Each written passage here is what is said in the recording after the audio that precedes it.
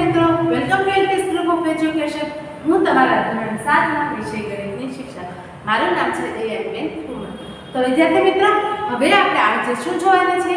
તો આપણે આગળ આજે આગળ જોવાના છે સ્વાધ્યાય બે પોઈન્ટ બેમાં મેં. કાલે તેમાં તમને હોમવર્ક આપેલું હતું. તે બધું હોમવર્ક તમે કરી નાખ્યું છે હવે આપણે જોવા જઈ રહ્યા છીએ સ્વાધ્યાય બે પોઈન્ટ બેમાં પ્રશ્ન ક્રમાંક પાંચ. બરાબર છે? પ્રશ્ન ક્રમાંક પાંચ જતા પહેલાં હું તમને એક વાત કહેવા માગું છું. તમે બધાએ એકવીસ જૂન નિમિત્તે ચિત્ર સ્પર્ધામાં ભાગ લીધો હતો. બરાબર છે? તમારી જેમ જ તે એકથી છના વિદ્યાર્થીઓ અને ધોરણ આઠના વિદ્યાર્થીઓએ પણ ભાગ લીધો હતો. ખૂબ જ સરસ સરસ ચિત્રો દોર્યા હતા બધાએ? મને ખૂબ જ ગમ્યા બધાના ચિત્રો. હવે આપણે તમને એ વિશે કહેવા માંગુ છું, શું તમે એકવીસ જૂનને શું કહેવાય તે જાણો છો?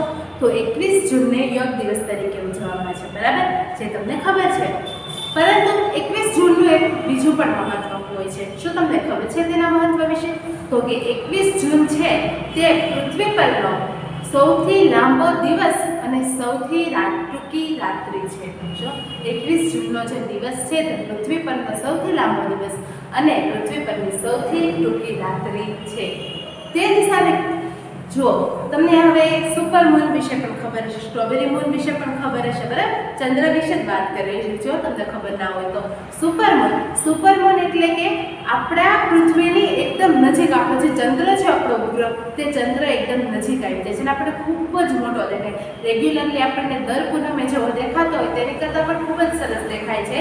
તે મૂનને કહેવાય છે સુપર મૂન. પરંતુ તે થોડો પીળાશ પડતો હોય છે. બરાબર છે? જે આપણે મે મહિનામાં જોવા મળે છે. જ્યારે સ્ટ્રોબેરી મૂન સ્ટ્રોબેરી મૂન આપણને ચોવીસ તારીખે જોવા મળ્યો હતો.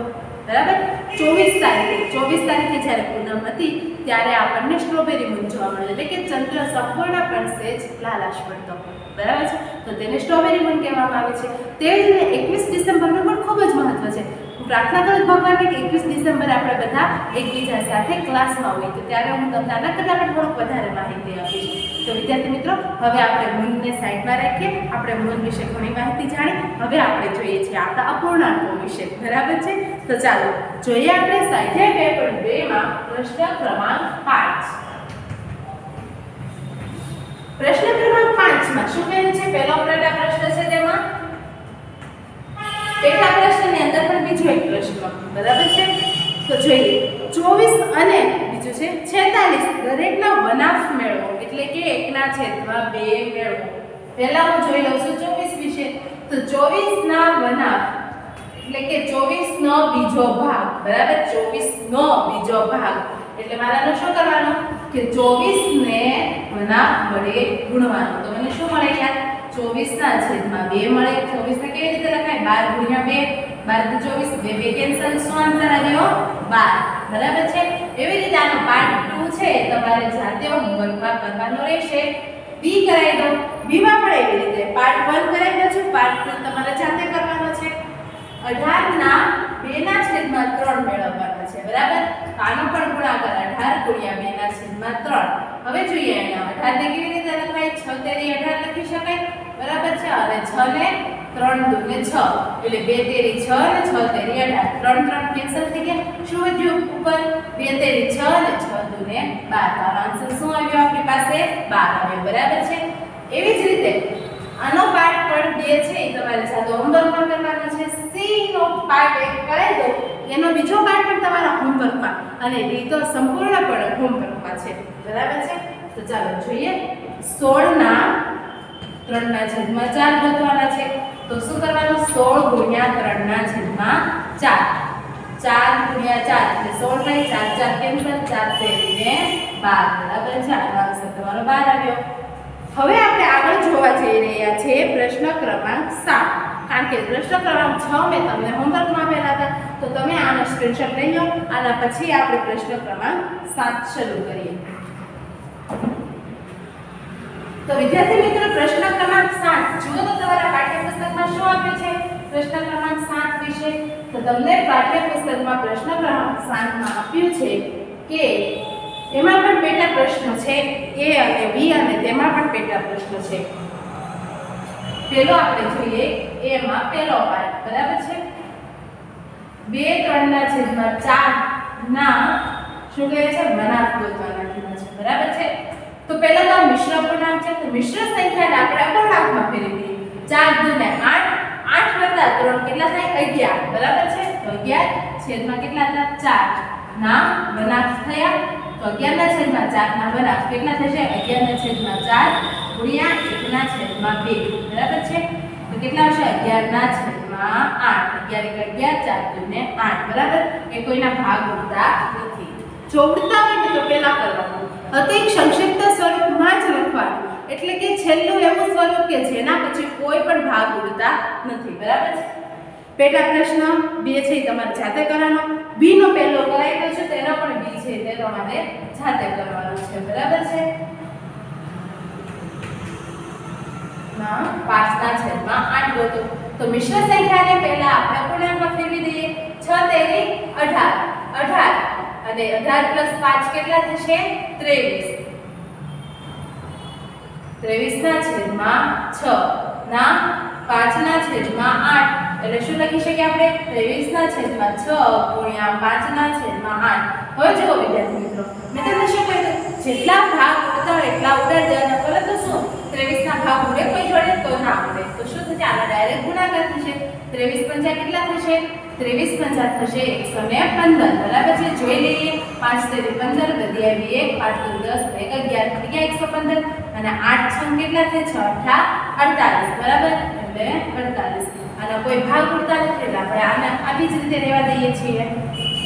આગળ જોઈએ છીએ, આપણે પ્રશ્ન ક્રમાંક આઠ. સૌપ્રથમ તમે આ સ્ક્રીનશોટ લઈ લો પછી આપણે આગળ જોઈએ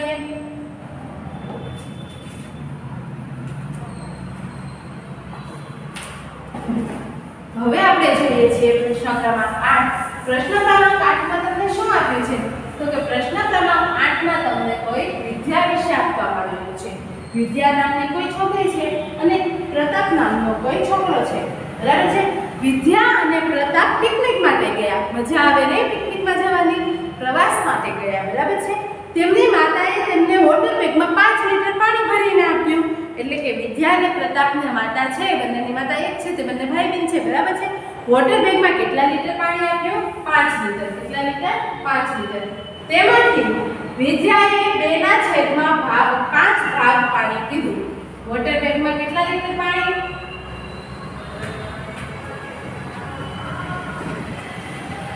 પાંચ લીટર હતું. કેટલા લીટર હતું? પાંચ લીટર. બરાબર છે? વિદ્યાએ કેટલું પાણી પીધું છે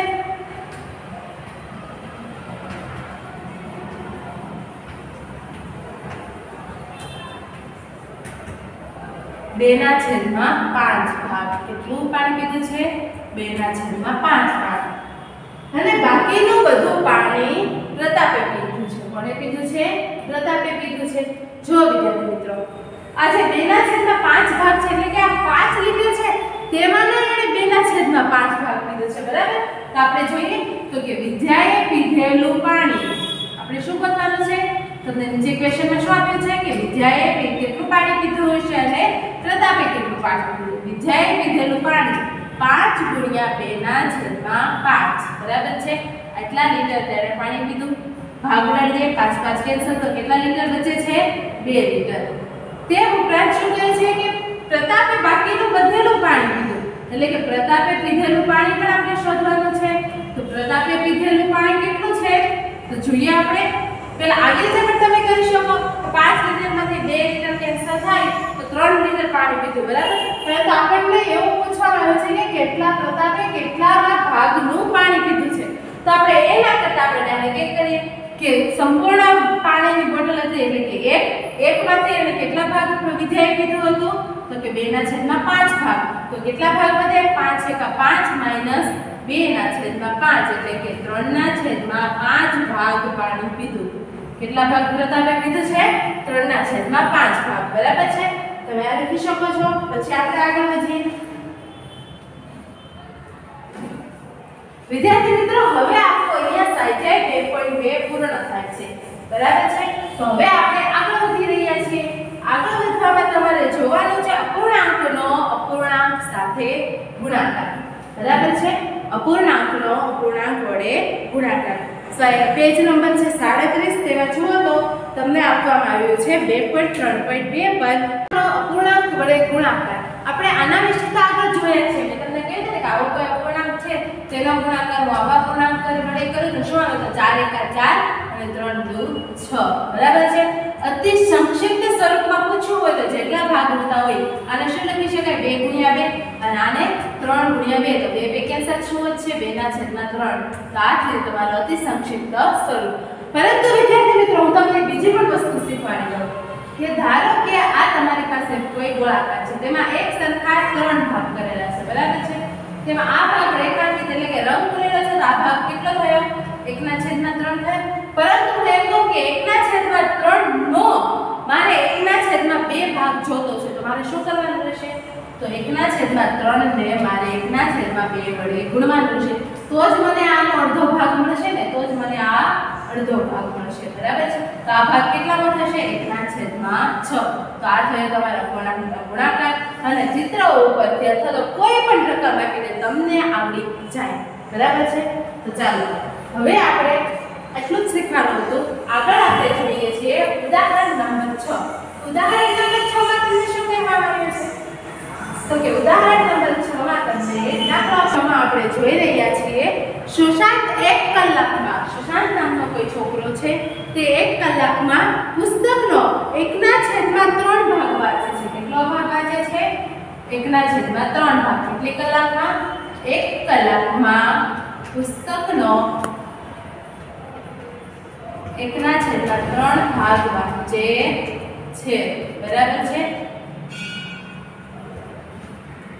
આગળ શું કહ્યું છે? તેથી બે એકના છેદમાં પાંચ કલાકમાં તેના દ્વારા વાંચવામાં એટલે કે તેના દ્વારા કેટલા કલાકમાં? એટલો ભાગ છે પુસ્તકનો.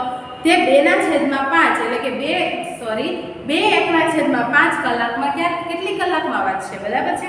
પુસ્તકનો ભાગ તે બે વન બાય ફાઈવ કલાકમાં વાંચશે બરાબર. તો કે બે અને એકના છેદમાં પાંચ, આટલી કલાકમાં તે પુસ્તકનો કેટલો ભાગ વાંચે? જો એક કલાકમાં તે પુસ્તકનો વન થર્ડ ભાગ વાંચે છે, બરાબર છે? તો આપણી પાસે આપણે એકને આવી રીતે લખીએ. તો બે એકના છેદમાં પાંચ, એટલે કેટલા થશે? પાંચ, દો, દસ, ને અગિયાર. એટલે અગિયારના છેદમાં પાંચ કલાકમાં પુસ્તકનો ભાગ કેટલો વાંચી શકે? તો શું કરી શકીએ? ત્રિરાશિ મૂકી શકીએ. અગિયારના છેદમાં પાંચ ગુણ્યા એકના છેદમાં ત્રણ છેદમાં એક. એટલે વધતા નથી. આનો ગુણાકાર અગિયાર એકા અગિયાર, પાંચ તેરી પંદર. આનો કોઈ ભાગ હોતો નથી, તો આપણી પાસે શું આવશે?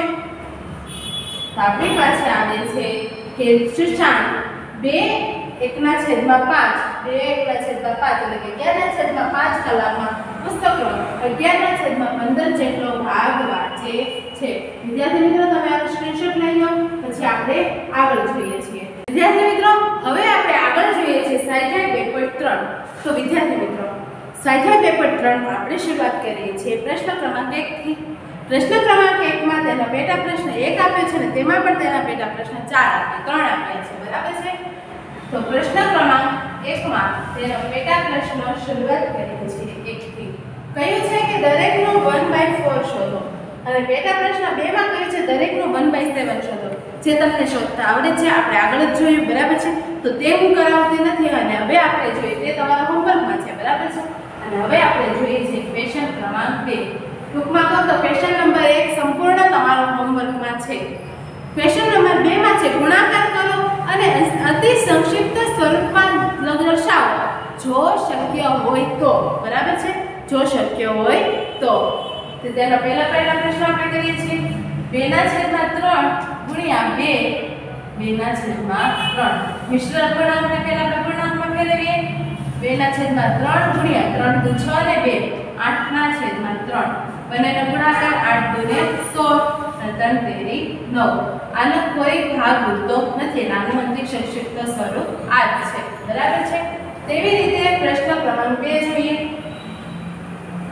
બેના છેદમાં સાત ગુણ્યા સાતના છેદમાં નવ જો વિદ્યાર્થી મિત્રો અહીંયા તમારો ભાગ પહેલા જોડી છે એટલે પહેલા એક ઉડાડી દઈએ તો શું આવશે આપણી પાસે બેના છેદમાં નવ બરાબર છે તો આપણી પાસે અહીંયા શું આવે છે? બેના છેદમાં નવ જે અતિ સંક્ષિપ્ત સ્વરૂપમાં છે.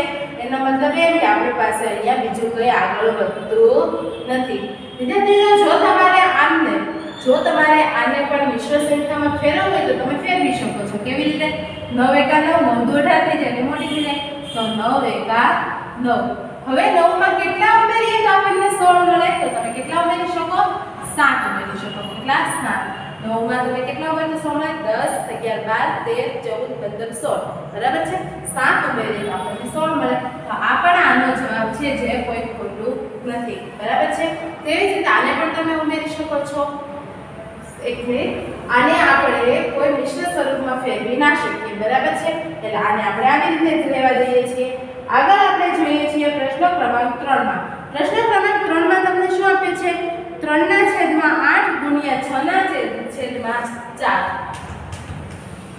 3 ના છેદમાં આઠ ગુણ્યા 6 ના છેદમાં ચાર. હવે જુઓ, અહીંયા આને શું લખી શકાય? બે ગુણ્યા બે. બરાબર? અને આને લખી શકાય ત્રણ ગુણ્યા બે. બે બે ઉડી જાય. આપણે પાસે શું ત્રણ 3 તેરી, નવ અને આઠ ને સો બરાબર છે? તો આ થયો આપણો આન્સર એવી જ રીતે બાકીના પ્રશ્નો 4 5 6 અને સાત, તે તમારે તમારા હોમવર્કમાં જાતે કરવાના છે.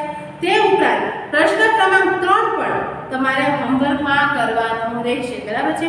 જેટલી વધારે પ્રેક્ટિસ હશે, તેટલું તમારું જલ્દીથી સારું થઈ જશે. મેથ્સ બરાબર છે? મેથ્સમાં દરવાની બિલકુલ જરૂર હોતી નથી. એકદમ સિમ્પલ જ આવે છે. પરંતુ તમારે તમારી પ્રેક્ટિસ શરૂ રાખવાની છે. બરાબર? હવે આપણે જોઈએ છીએ પ્રશ્ન ક્રમાંક ચાર. શું જોવા જઈ રહ્યા છે? પ્રશ્ન ક્રમાંક ચાર. પ્રશ્ન ક્રમાંક ચારમાં તમને એવું બતાવવામાં આવ્યું છે કે કયું મોટું છે. બરાબર છે? એટલે નીચેની જે કંઈ પણ સંખ્યા આપેલી છે, તેમાંથી તમારે જણાવવાનું છે કે નીચેની સંખ્યામાંથી કઈ સંખ્યા મોટી છે. પેલું તમને આપ્યું છે. ત્રણના છેદમાં ચારના બેના છેદમાં સાત. કે પાંચના છેદમાં આઠના, ત્રણના છેદમાં પાંચ. બરાબર છે? એના મતલબ એમ કે આપણે આ સંખ્યા અને આ સંખ્યા ગોતવાની છે. પછી આપણે જોવાનું છે કે તેમાંથી કઈ સંખ્યા મોટી છે. બરાબર? કઈ સંખ્યા મોટી છે? અપૂર્ણાંકમાં મેં તમને પહેલા જ શીખવાડી દીધું છે કે તેના સમછેદી બનાવવાના, પછી આપણે અંશ જે મોટો હોય તે મોટી. બરાબર? પહેલા ત્રણના છેદમાં ચાર ના બે ના છેદમાં સાત છે એટલે ત્રણના છેદમાં ચાર ગુણ્યા બેના છેદમાં સાત, બરાબર? અને અહીંયા શું છે? પાંચના છેદમાં આઠ, ના, ત્રણના છેદમાં પાંચ. પાંચ પાંચ કેન્સલ થઈ જાય. આવ્યો અહીંયા જવાબ ત્રણના છેદમાં આઠ અને અહીંયા બે બે કેન્સલ થઈ જાય. અહીંયા બે બે બે છે એટલે બે બે કેન્સલ શું જવાબ આવશે? ત્રણના છેદમાં સાત ગુણ્યા ચૌદ હવે જુઓ વિદ્યાર્થી મિત્રો અંશ છે. પરંતુ જો છેદ સરખા હોત તો આપણને જલ્દીથી ખબર પડી જાય. તો આપણે આનો છેદ સરખો કરવો હોય તો આપણે આનો લસા લેવો પડે. બરાબર છે? જોઈએ કેટલો લસા આવશે આપણી પાસે? ચૌદ અને આઠ. બેથી કરીએ. સાત દુ ચૌદ, ચાર દુ આઠ. ફરીથી બે. સાતના સાત. બે બે ચાર ફરીથી બે, સાતના સાત, બે એકા બે. અને બે વધ્યા માત્ર સાત, બરાબર? સાત તો ચૌદ ચૌદ દુ અઠ્યાવીસ, ને અઠ્યાવીસ તો કેટલા થાય? અઠ્યાવીસ થશે છપ્પન, બરાબર છે? અઠ્યાવીસ દુ છપ્પન. તો આ બધાનો લસા કેટલો આવ્યો? અઠ્યાવીસ દુ છપ્પન, બરાબર છે? છપ્પન લસા આવ્યો. હવે આપણે અહીંયા ચૌદ ને કેટલા વડે ગુણીએ? ચૌદ ને કેટલા વડે ગુણીએ તો આપણને છપ્પન મળે? બોલો તો ચૌદ નો ગુણ્યો. તો ચૌદ ને આપણે ચાર વડે ગુણીએ તો આપણને કેટલા મળી જાય? છપ્પન મળી જાય. બરાબર છે? તો અહીંયા ચાર વડે ગુણવા પડશે. અને આઠ ને આપણે કેટલા વડે ગુણીએ તો આપણને છપ્પન મળે? તો આઠ ને આપણે સાત વડે ગુણીએ. સાત અથવા છપ્પન થાય એટલે કે સાત વડે ગુણવા પડે. બરાબર છે? ગુણવાની વાત આવે એટલે ઉપરના ને તો ચાર તેરી બાર ના છેદમાં ચૌદ ચોક છપ્પન. અને સાત તેરી એકવીસ ના છેદમાં આઠ, સાત સાત છપ્પન. બરાબર છે? જુઓ, કોનો અંશ મોટો છે? આ સંખ્યાનો અંશ મોટો છે. તો મોટી સંખ્યા કઈ થઈ? પાંચના છેદમાં આઠના, ત્રણના છેદમાં પાંચ. બરાબર છે?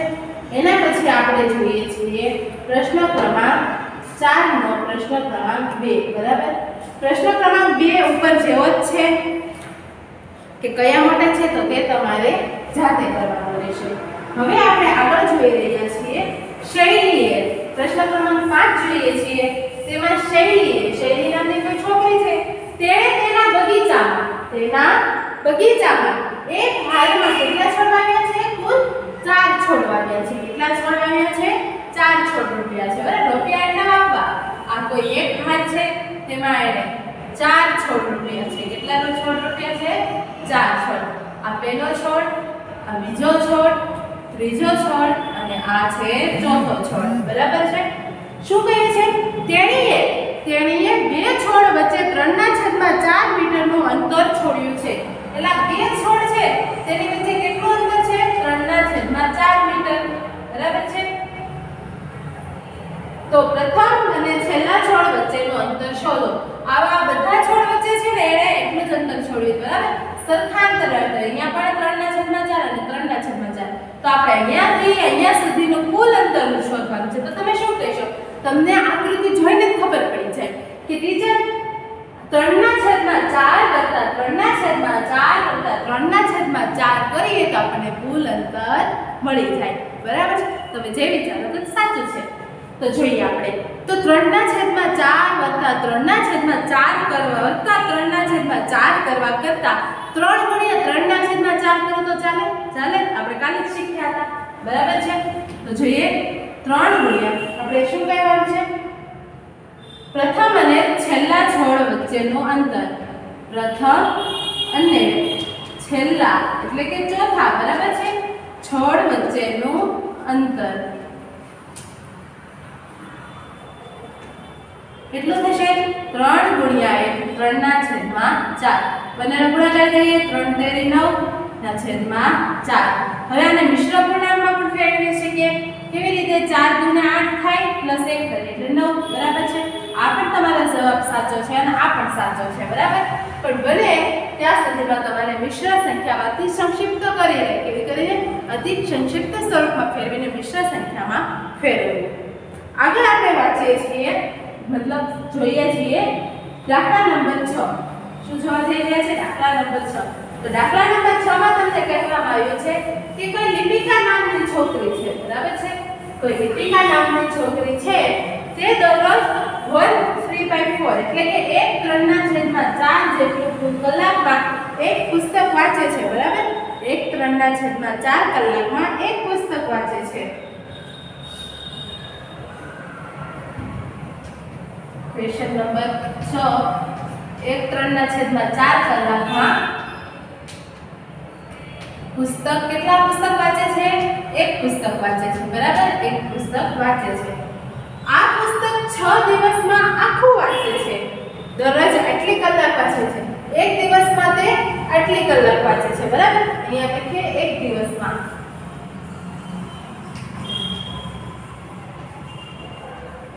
એક દિવસમાં એક ત્રણના છેદમાં ચાર અને મિશ્રમાંથી આપણે એને પૂર્ણાંક અપૂર્ણાંકમાં ફેરવી ચાર એકા ચાર વત્તા ત્રણ. કેટલા થશે? સાત. સાતના છેદમાં ચાર કલાકમાં તે કેટલું પુસ્તક વાંચે છે? એક પુસ્તક વાંચે છે. બરાબર છે? આગળ છે તો તે આ પુસ્તક, તે આ પુસ્તક છ દિવસમાં આખું વાંચે. કેટલા દિવસમાં? છ દિવસમાં. દરરોજ દરરોજ દરરોજ તે એક એટલે કે સાતના છેદમાં ચાર કલાક વાંચે છે, બરાબર? સાતના છેદમાં ચાર કલાક વાંચે છે.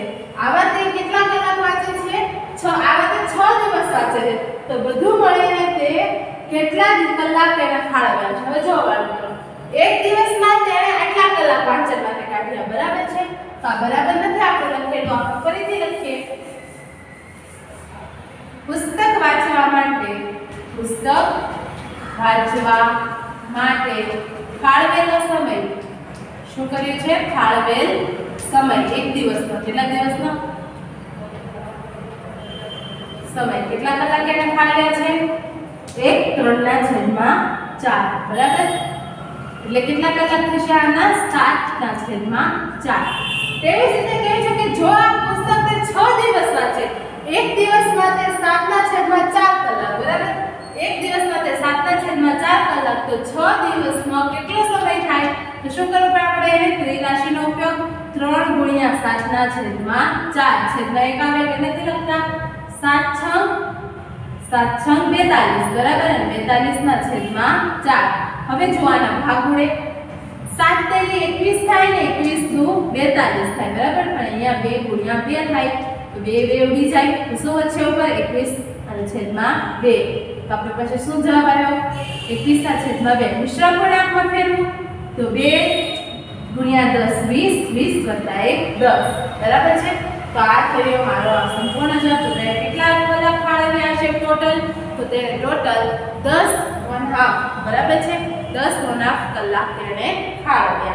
આગળ જઈએ આપણે. આગળ તમને આપવામાં આવેલો છે પ્રશ્ન ક્રમાંક 7 શું કહે છે પ્રશ્ન ક્રમાંક 7 માં તો પ્રશ્ન ક્રમાંક 7 માં તમને દર્શાવવામાં આવ્યું છે કે એક કાર એક કાર 1 લીટરનો ઉપયોગ કરીને, કેટલા લીટરનો ઉપયોગ કરીને? 1 લીટરનો ઉપયોગ કરીને 16 કિલોમીટર અંતર કાપે છે. કેટલા કિલોમીટર અંતર કાપે છે? 16 કિલોમીટર. તો તે 2 3/4 લીટર ઉપયોગ કરીને કેટલું અંતર કાપ્યું હશે? જોઈએ આપણે.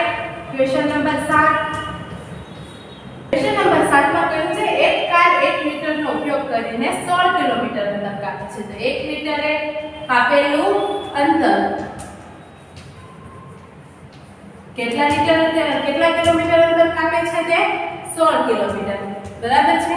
તેવી જ રીતે તો તે કાર 2 3/4 2 3 ના છેદમાં 4 લીટર એટલે કે 4 દુ 8 8 ને 3 11 11 ના છેદમાં 4 લીટરે કેટલું અંતર કાપ્યું હશે, બરાબર? ત્રિરાશીનો ઉપયોગ કરી બાળમિત્રો, જો તમને ત્રિરાશીમાં ના ખબર પડતી સોરી મેં તમને પહેલા મારે કહી દઉં છે તેનો મતલબ એવું થાય અહીંયા જે સંખ્યા છે, તેનો ગુણાકાર અહીંયા જે સંખ્યા છે, તે વડે. એટલે 11 ના છેદમાં ચાર ગુણ્યા 16 અને ભાગાકારમાં આવે જે અહીંયા સંખ્યા હોય ને તે, એટલે કે એક. પરંતુ અહીંયા આપણી પાસે એક છે એટલે 1 ને આપણે ભાગાકારમાં લખતા નથી. ડાયરેક્ટલી આપણે કરી રહ્યા છીએ. 16 ગુણ્યા 11 હવે એનો તમારે સાઈડમાં કરવો પડે, બરાબર છે? પણ આપણે આવી રીતે પણ કરી શકીએ 11 છ કેટલા થાય? 66 થાય? વધી આવી છ, અગિયાર એક, અગિયાર અગિયાર વત્તા છ. અગિયાર વત્તા છ કેટલા થાય? 17 થાય? બરાબર છે? તો 17 મૂકી દેવાના. એટલે તમારો આન્સર કેટલો આવે? અહીંયા બધું સાઈડમાં 176 ના છેદમાં ચાર. બરાબર છે? પરંતુ આખી સિમ્પલ થઈ જાય. જો ચાર ગુણ્યા ચાર થાય, બરાબર? 4 4 કેન્સલ. તો 11 ચોક 44 તો કેટલા કિલોમીટર અંતર તે કાપી શકે? 44 કિલોમીટર. આ તમારો આન્સર આવી ગયો. વિદ્યાર્થી મિત્રો, હવે આપણે જોઈ રહ્યા છે પ્રશ્ન ક્રમાંક 8 પ્રશ્ન ક્રમાંક 8 માં તમને કહેવામાં આવ્યું છે કે નીચે કોઈ બે બોક્સ આપવામાં આવ્યા છે, બરાબર? આ બોક્સમાં આ બોક્સમાં એવી સંખ્યા લખો કે જેથી બાકી- બાકીની જે ખાલી જગ્યા છે તે પૂર્ણ થાય. એટલે કે આવું વાક્ય છે. ગુણ્યા આવું બોક્સ છે તમને? એના બરાબર 10 ના છેદમાં 30 થાય. આ પાર્ટ એક છે, બરાબર? પ્રશ્ન ક્રમાંક 8 નો એમાં એક. હવે જુઓ, અહીંયા હું શું લખું તો અહીંયા ઉપર 10 અને નીચે 30 આવે તેનો મતલબ એમ કે મારે બે સાથે એવી કોઈ વસ્તુ ગુણવાની છે એવો કોઈ અંક ગુણવાનો છે કે જેથી મને 10 મળે. તો 2 પંચા 10 થાય, બરાબર? એટલે અહીંયા 5 ગણી શકું. અને ત્રણ સાથે કેટલા અંક ગણું તો મને 30 મળે? તો 3 ગુણ્યા 10 કરીએ તો આપણને 30 મળે. તો અહીંયા બોક્સમાં શું આવશે 5 ના છેદમાં 10 નીચેનું પેટા પ્રશ્ન બી, બે આપ્યો છે. તેમાં લખ્યું છે બોક્સમાં મેળવેલ સંખ્યાનો અતિ સંક્ષિપ્ત સ્વરૂપ. અતિ સંક્ષિપ્ત સ્વરૂપ એટલે આના જેટલા ભાગ ઉડતા હોય તેટલા ઉડાડવાના. તો 10 કેટલા થાય? 5 ગુણ્યા 2 થાય? તો 5 5 કેન્સલ. જેટલા મળ્યા આપણને 1 ના છેદમાં 2 તો આ બોક્સમાં કેટલા લખવાના? 1 બે છેદમાં 2 આનો પેટા પ્રશ્ન બી છે તે તમારે હોમવર્કમાં જાતે કરવાનો રહેશે. બરાબર છે? તો કેટલું થયું આજનો હોમવર્ક તો તમારે આજનો હોમવર્ક છે પ્રશ્ન ક્રમાંક સોરી સ્વાધ્યાય બે પોઈન્ટ બેથી છે, બરાબર છે? સ્વાધ્યાય બે પોઈન્ટ બેમાં તમારે પ્રશ્ન ક્રમાંક છમાં જોવાનું છે સી ડી ઈ એફ તેમજ સોરી પ્રશ્ન ક્રમાંક છમાં નહીં, પ્રશ્ન ક્રમાંક પાંચમાં તમારે એ બી સી એ બીજો બીજો પ્રેરક પ્રશ્ન, બરાબર? અને ડી સંપૂર્ણ. ત્યાર પછી છે પ્રશ્ન ક્રમાંક 7 માં તેમાં તમારે બી નો ભાગ સંપૂર્ણ જોવાનો છે. બી નો, એ નો પણ બીજો પાર્ટ અને બી નો પણ બીજો પાર્ટ બરાબર છે? હવે આવીએ છીએ આપણે પ્રશ્ન સ્વાધ્યાય પેપર 3 માં સ્વાધ્યાય પેપર 3 માં તમારે પ્રશ્ન ક્રમાંક 1 સંપૂર્ણ જોવાનો છે. તે ઉપરાંત પ્રશ્ન ક્રમાંક 2 માં જે મેં નથી કરાવ્યો, એટલે કે 4 5 6 7 તે તમારે જોવાના છે. તે ઉપરાંત પ્રશ્ન ક્રમાંક ત્રણમાં, પ્રશ્ન ક્રમાંક ત્રણ તમારે સંપૂર્ણ જોવાનો છે. પ્રશ્ન ક્રમાંક 4 પેટા પ્રશ્ન બે જોવાનો છે અને પ્રશ્ન ક્રમાંક આઠમાં પેટા પ્રશ્ન બે જોવાનો છે. ત્યારબાદ આપણી પાસે પાસે આવે છે અપૂર્ણાંકોનો ભાગાકાર. અપૂર્ણાંકો દ્વારા પૂર્ણ સંખ્યાનો ભાગાકાર. જે બધું હવે આપણે આના પછીના લેક્ચરમાં કરીશું, બરાબર? તો વિદ્યાર્થી મિત્રો, હવે આપણે આવતીકાલે મળીએ. શું જોવાના છે આપણે આવતીકાલે? અપૂર્ણાંકોનો ભાગાકાર. અને હા, વિદ્યાર્થી મિત્રો તમે જે તમારી વર્કશીટ તમને અહીંયાથી મોકલવામાં આવી છે, તે વર્કશીટ તમારે તમારી ગણિતની પાકી નોટબુકમાં પણ લખવાની રહેશે. બરાબર છે? તમારા પેજમાં તો તમારે લખવાની છે વર્કશીટને પ્રિન્ટ આઉટ કરીને પરંતુ તમારે પાકી નોટબુકમાં પણ ફરજિયાતપણે લખવાની રહેશે. બરાબર છે? તો ચાલો, વિદ્યાર્થી મિત્રો, હવે આપણે આવતીકાલે મળીએ. નમસ્તે.